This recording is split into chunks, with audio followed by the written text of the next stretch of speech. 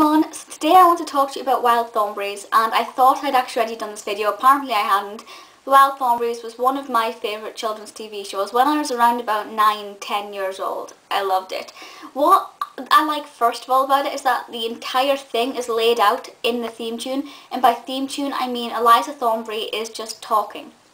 She's taken us through her family, through her parents and her siblings and she says what her parents do. They, they um, present and film and nature show and they travel around in their, their house which is like a caravan and a boat at the same time. It's very peculiar and um, the, spe the special thing about Eliza is that she can talk to animals, kind of like a Dr. Dolittle kind of thing.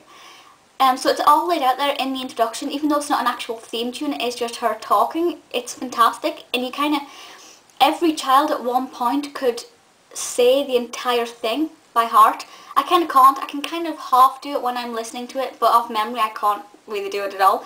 But the program itself as an animation is absolutely brilliant. It's all about her adventures, talking to animals. The animals would get into danger. Um, a lot of it involving, for example, poachers and things.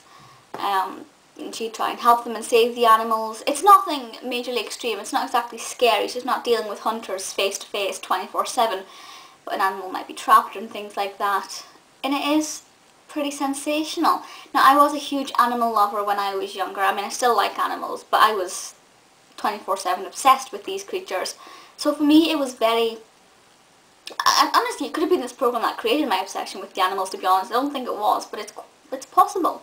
It is very addictive and I absolutely love it. And of course you have... Um, I don't know, I think there was a Wild Thornberrys movie, but you also have the Rugrats Go Wild, which is where the Rugrats met the Wild Thornberrys, and that was one of the most fantastic things ever. I was watching, I went to the cinema to see it, um, good number of years ago now, um, and I was watching it thinking, wow, this is amazing, because those were like my two favourite shows at the time, and Rugrats is always going to be one of my favourite kids shows. Um, I absolutely loved it. It's really, really good. I think the character of Eliza is, is, is very likeable. There isn't a quality about her which kind of made me go, you're annoying. Um, her father, I think, is fantastic. Her mother is great. Um, her sister is a bit annoying. And her two brothers, and by brothers I mean Darwin and Donnie, um, kind of weird, you know. well, we'll not go into that. It's kind of a weird situation they have going on there with Darwin and Donnie. Um, both of those kind of annoyed me, but it was a it was a, a good annoyance. You know, I liked to be annoyed by them because it kind of meant I was evoking more emotion than just fanatic.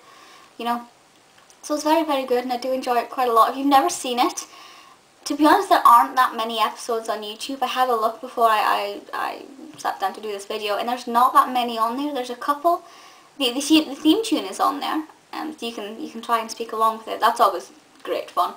There, there's one episode. There's a couple of episodes, but there's one in particular which has been uploaded in full.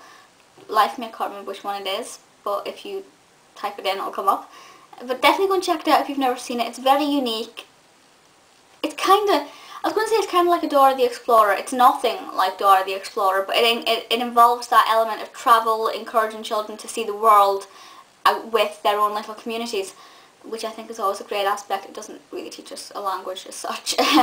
But it is very fascinating and a program that I will always, always cherish. Let me know your thoughts on the Wild Thornberrys. If you have any more suggestions for my 90s nostalgia shows, let me know, and I'll see you all next time. Bye!